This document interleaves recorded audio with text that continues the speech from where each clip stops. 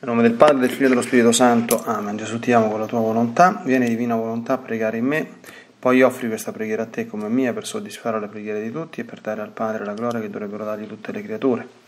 Mia Divina Maria, ti amo nella divina volontà, Regina Immacolata, Celeste Madre mia, vengo sulle tue ginocchia materne per abbandonarmi nelle tue braccia, per chiederti i sospiri più ardenti che mi ammetta a vivere nel regno della divina volontà. Mamma Santa, tu che sei la regina di questo regno, ammettimi a vivere in esso affinché non sia più deserto, ma popolato dai figli tuoi.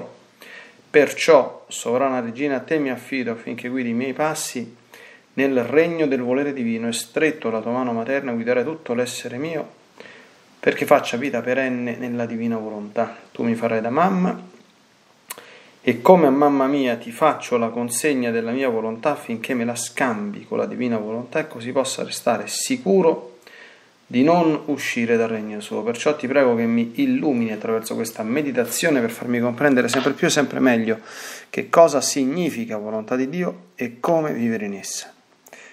Ave Maria, piena di grazia, il Signore è con te. Tu sei la benedetta fra tutte le donne, benedetto è il frutto del tuo seno Gesù. Santa Maria, Madre di Dio, prega per noi peccatori, adesso e nell'ora della nostra morte. Amen.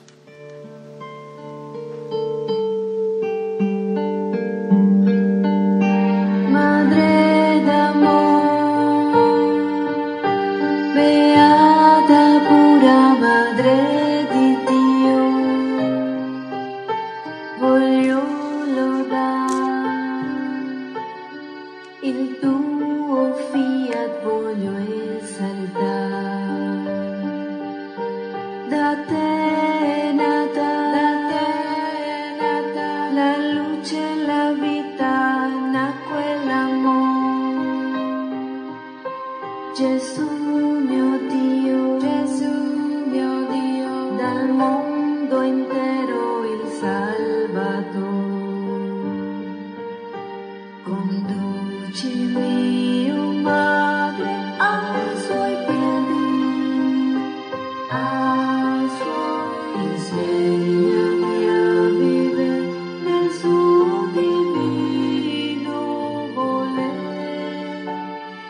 soir.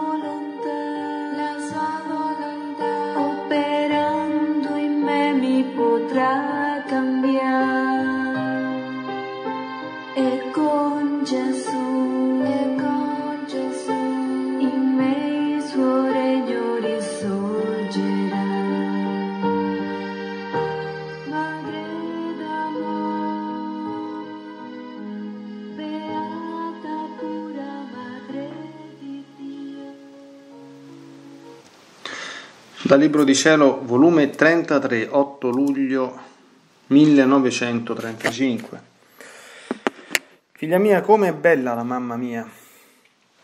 Il suo impero si stende ovunque, la sua bellezza rapisce ed incatena tutti. Non vi è essere che non pieghi le sue ginocchia per venerarla. Tale me la fece la mia divina volontà, me la fece inseparabile da me, in modo che non ci fu atto che io feci che la sovrana regina non facesse insieme con me.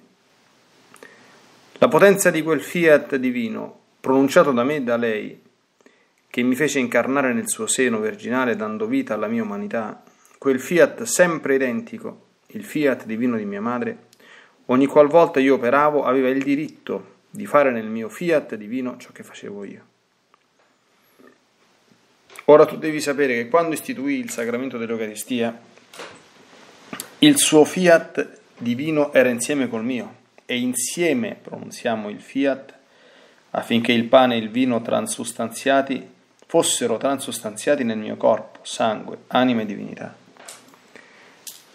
Ah, come nell'incarnarmi volli il suo fiat, così lo volli in quest'atto solenne che dava principio alla mia vita sacramentale. Chi avrebbe avuto il cuore di mettere da parte la mamma mia in un atto in cui il mio amore sfoggiava con eccessi così esuberanti che danno dell'incredibile? Anzi, non solo fu insieme a me, ma la costituì regina della mia vita sacramentale, ed essa, con amore di vera madre mia, mi offrì il suo seno di nuovo, la sua bella anima, per tenermi difeso e riparato dalle ingratitudini orrende e dai sacrilegi enormi che purtroppo avrei ricevuto in questo sacramento di amore. Figlia mia, è questo il mio scopo, che voglio che la mia volontà sia vita della creatura per tenerla insieme con me, per farla amare col mio amore, operare nelle mie opere. Insomma, è la compagnia che voglio negli atti miei, non voglio essere solo.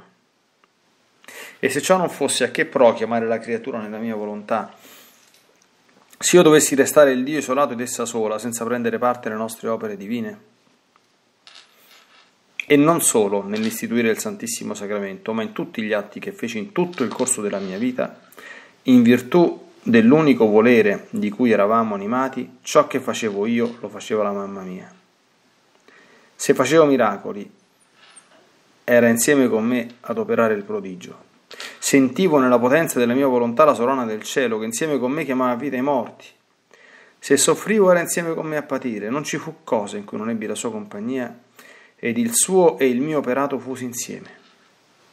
Era questo il più grande onore che le dava il mio fiat. L'inseparabilità dal suo figlio, l'unità delle sue opere. E la gloria più grande che mi attestava la Vergine, tanto che io deponevo e lei riceveva nel suo materno cuore il deposito delle opere fatte, gelosa di custodire anche il respiro. Questa unità di volontà e di opere accendeva tale amore tra l'uno e l'altra che era sufficiente ad incendiare il mondo intero e a consumarlo di puro amore. Gesù ha fatto silenzio ed io sono rimasta nei mari della sovrana celeste. Ma chi può dire ciò che comprendevo? Ed il mio sommo bene Gesù ha ripreso il suo dire, figlia mia, com'è bella la mamma mia. La sua maestà è incantevole, dinanzi alla sua santità si abbassano i cieli, le, ricche, le sue ricchezze sono interminabili ed incalcolabili, nessuno può dirsi simile a lei. Perciò essa è Signora Madre Regina.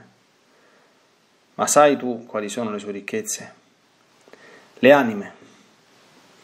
Ogni anima vale più di un mondo intero.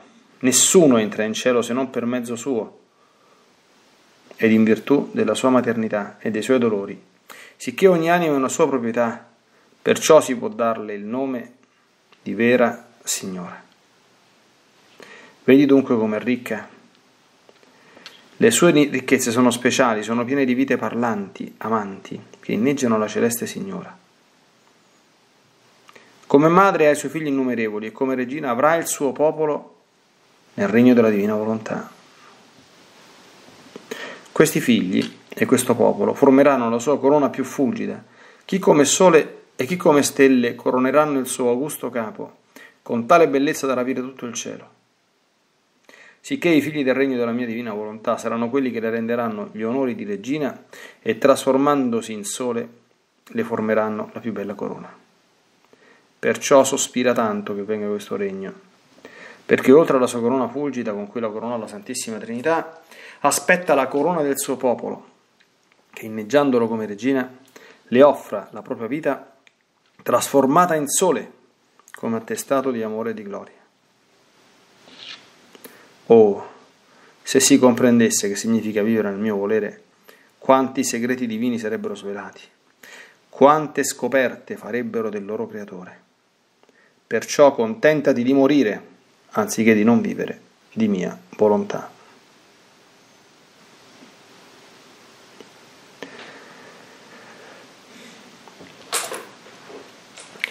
Questo scritto è tratto dal volume 33, quindi siamo molto avanti nelle rivelazioni che Gesù fece della divina volontà. Negli ultimi volumi ci sono anche delle pagine assolutamente straordinarie e luminosissime circa la grandezza e la bellezza della Divina Maria. Ecco, la sua bellezza rapisce ed incatena tutti. Dice Gesù, e non vi è essere che non pieghi le sue ginocchia per venerarla. Ecco, in questo scritto si contempla anzitutto l'inseparabilità non solo nell'amore tra Gesù e Maria, ma l'inseparabilità fondata nella potenza del fiat che rese necessariamente la Madonna, come Gesù spiega, partecipe di tutti i suoi atti, compresi quelli più strepitosi e straordinari che Gesù fece, quali le risurrezioni dei morti, ha fatto l'esempio, e addirittura l'istituzione dell'Eucaristia. Ecco, questo ci fa capire una cosa mm, che è tra l'altro contenuta nell'atto di fusione e che noi certamente viviamo nel mistero, quindi a livello sensibile non avviene come dire una percezione e una coscienza esplicita di questo. Ma questo non significa che non sia un fatto sommamente reale. È come quando noi facciamo la comunione, no? quando facciamo la comunione noi non sentiamo la, eh, come dire, sensibilmente la presenza di Gesù. A volte la comunione è intensissima, quindi si vivono dei momenti di preghiera molto profonda, anche in quelle circostanze, cioè noi facciamo un'esperienza della presenza di Gesù non sensibile che è quella diciamo che generalmente mh, mm, maggiormente ci, ci attrae, no? E, mm, ci colpisce perché è quella apparentemente più, più immediata, più, più evidente anche. Ma le cose più profonde avvengono nell'anima, non nei sensi. E la vita nella divina volontà dice Gesù, comporta una cosa, che chi opera nella divina volontà si trova ad essere presente in tutte le opere divine, le opere del Verbo. E questo è perché il Fiat Supremo è incessantemente in atto e in opera e la fusione e l'unione con il Fiat Supremo rende necessariamente partecipe delle opere che questo Fiat compie. È una cosa molto bella che dice Gesù che gli dà molto gioia perché non si trova da solo nell'operare. Se io dovessi restare il Dio isolato senza, prendere, senza che la creatura prendesse parte alle opere divine, Quindi l'essere chiamato nella divina volontà vuol dire anche l'essere chiamato a, questa, a questo chiamiamolo così, ministero, se vogliamo, di compagnia nei confronti di tutti gli atti di Gesù. Per esempio nell'Eucaristia la Madonna non si limitò, come dice, a concorrere con la potenza del fiat per mezzo del quale aveva reso possibile l'incarnazione del Verbo nella natura umana, come dire, ad essere partecipi a questa nuova incarnazione nella vita sacramentale, perché la transostanziazione è una sorta di incarnazione, eh? cioè, si determina una realtà ogni volta che un sacerdote consacra eh, del tutto peculiare, nel senso che Gesù, che prima non era presente in corpo, anima, sangue e divinità in un frammentino di pane, dopo la consacrazione lo diventa San Francesco quando parlava dell'Eucaristia diceva che nell'Eucaristia avviene nel giro di pochissimi secondi l'incarnazione, appena il sacerdote pronuncia le parole della, della consacrazione, quindi termina la, la consacrazione, l'immolazione, la morte in croce, quando il sacerdote alza l'ostia o il codice eh, o il calice, la cosiddetta elevazione, e la deposizione la deposizione nella mangiatoia o nel sepolcro, quando il sacerdote depone, dopo, l'elevazione l'ostia sulla patena, o depone poi il calice sull'altare dopo l'elevazione del calice. E quindi Gesù dice, ma come? Colei che ha concorso nel farmi diventare carne nel suo grembo, ti pare che non l'avrei fatta concorrere nella mia vita, nella costituzione della mia vita sacramentale per la prima volta. Ecco, e la Madonna non si limitò a questo, e non si limita a questo.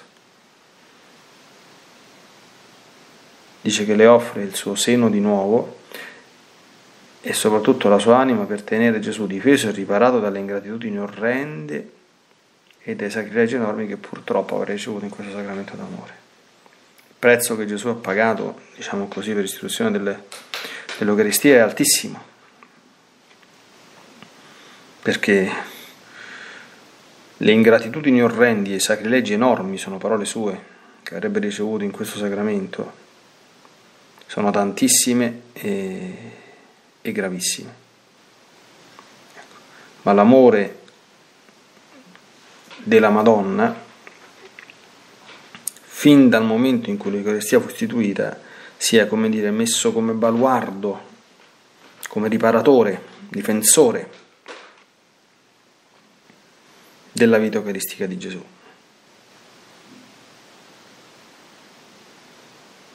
Diciamo noi nell'atto di fusione, no? Gesù facciamo tutto insieme, fondiamoci a vicenda nella volontà, nel desiderio e nell'amore.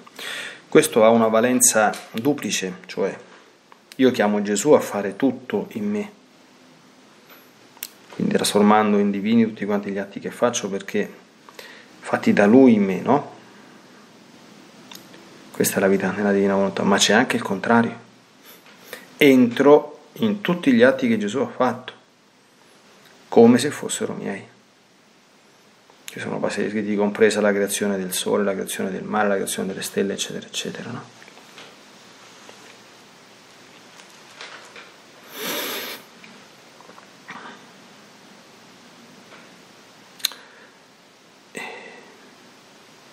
E Gesù di questo si rallegrava tantissimo, dice che si compiaceva di deporre tutte le sue opere nel seno materno e che la Madonna a sua volta era gelosa di custodire anche il respiro di Gesù.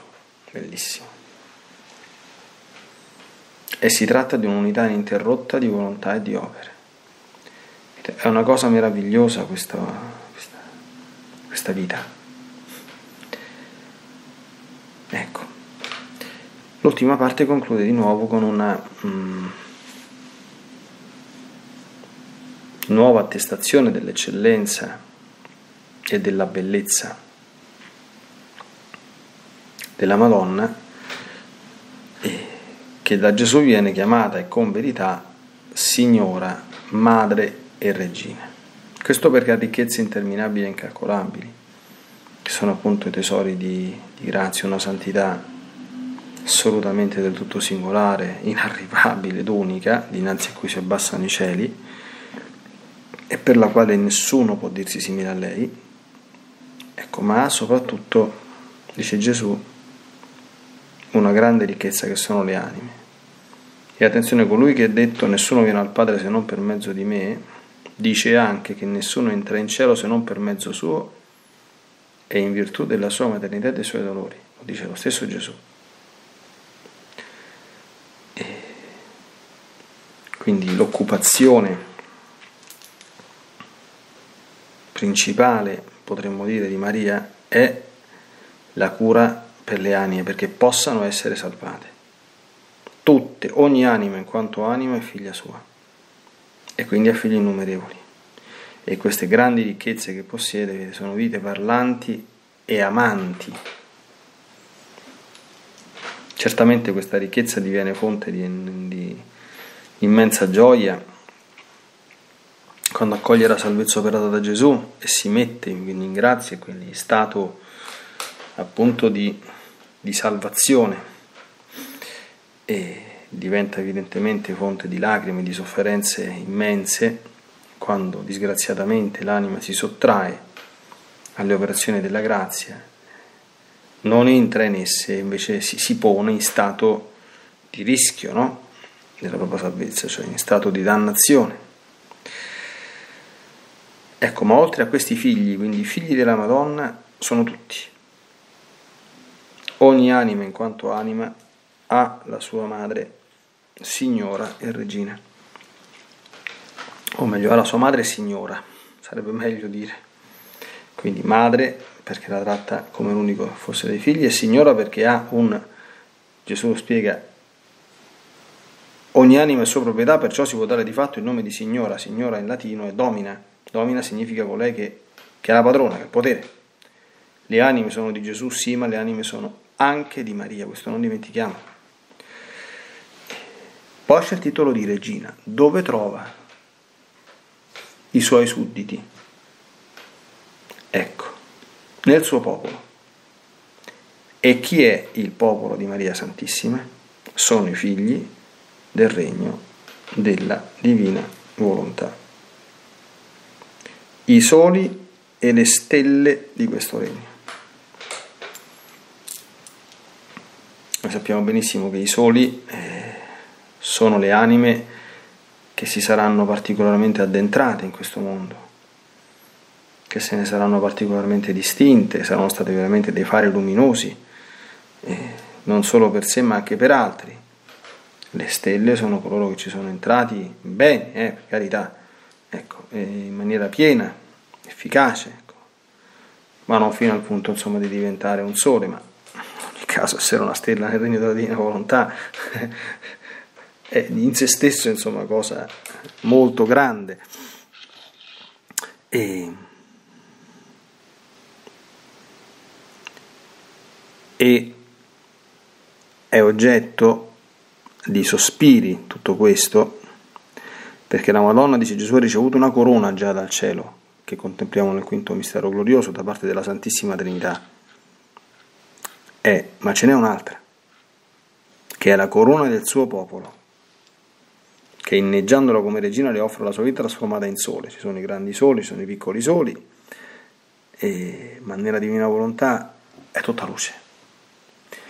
E queste anime sono le anime che avranno rifatto, avranno, avranno condotto nella vita la stessa vita della Madonna. Certamente non come la sua, ma diciamo simile alla sua. Per cui e, ecco, Gesù conclude questa sua lexio magistralis ecco, sulla sua Madre Santissima dicendo guarda, se si comprendesse che significa vivere nel mio volere, quanti segreti divini sarebbero svelati, no? Quali sono i segreti divini svelati qui? Eh, il più grande è la partecipazione di chi vive nella divina volontà alle opere di Gesù stesso.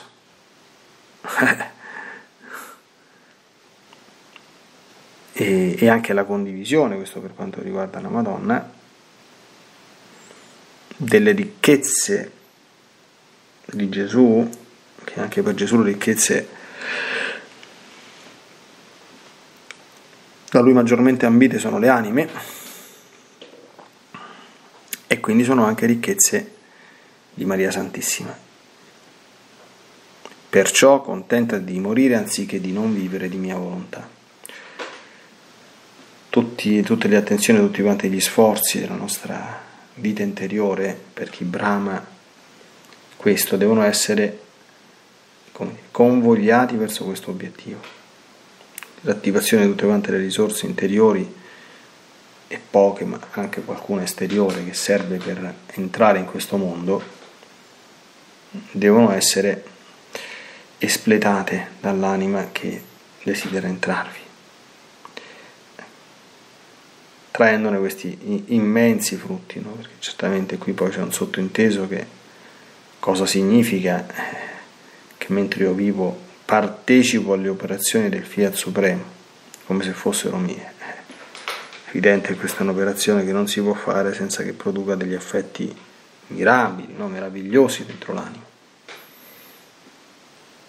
Ed ecco anche perché questo regno e questo mondo è quanto di più totalmente desiderabile e auspicabile possa esserci e, e possa essere stato manifestato ecco, dal Signore perché chi lo accoglie e chi realmente ci crede possa viverlo e dando gioia e adempimento e soddisfazione ai desideri ardenti di Gesù e di Maria.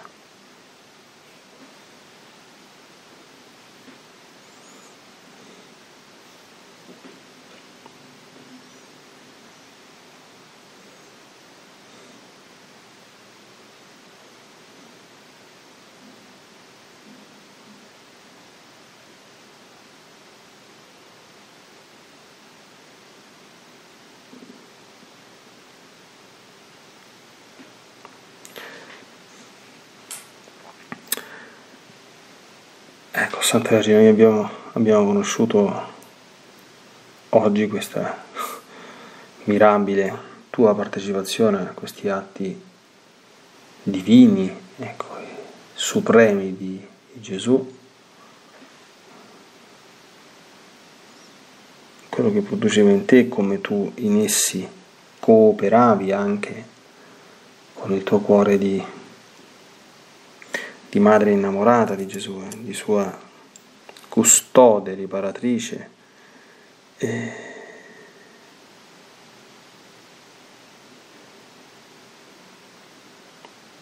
ecco, concedici questa grazia di poter fare sempre tutto insieme a Gesù, mantenendo ferma e costante la nostra connessione con i suoi divini voleri. Perché tutta la nostra vita, nulla più nella nostra vita sia umana, ma tutto divina, e possiamo essere dei piccoli soli che splendono ad immagine e imitazione del sole divino che è Gesù.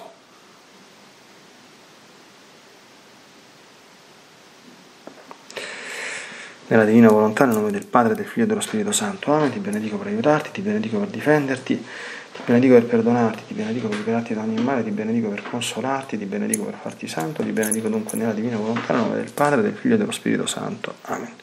Fiat Ave Maria.